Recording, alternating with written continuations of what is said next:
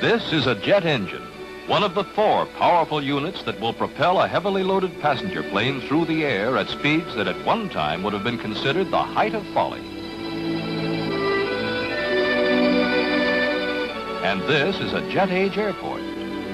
As you can see, skilled and expert mechanics go over every part of the engines and test every phase before the great ships are certified ready for service. Nothing is left to chance. Inspectors examine the motors almost piece by piece before passing them as ready for use and ordering the plane to the loading area.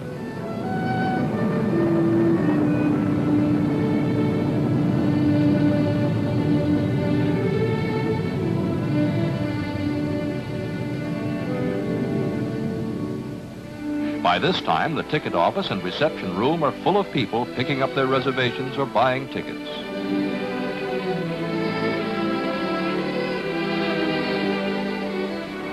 The plane taxis into position, and now the business of further preparing this airship for her flight can proceed.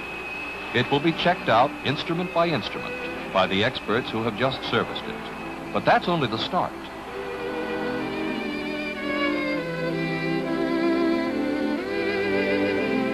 It will be fueled until its vast tanks are brim full.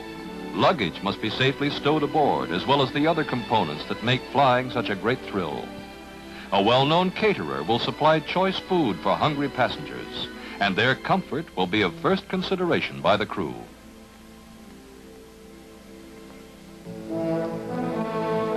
Time is approaching for the takeoff.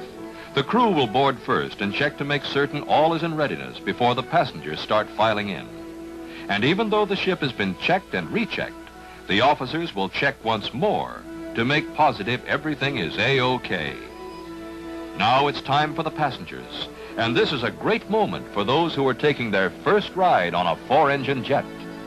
There will only be a few hours of comfortable and exciting flying, and they'll be on the other side of our country.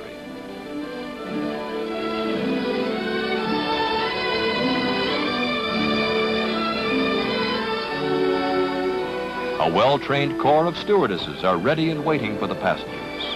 They'll see that they are properly seated and strapped in for the takeoff and will also provide for all their wants and answer their questions during the trip.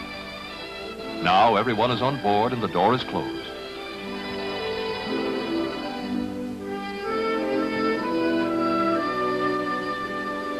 The loading ramp is wheeled away and the signal given for the plane to take off. Slowly it starts for the runway, getting instructions from the tower as it does.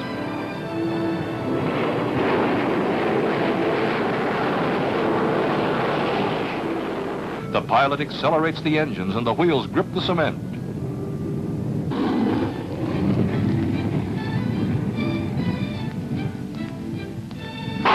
Next thing we know, we're airborne and headed toward the clouds.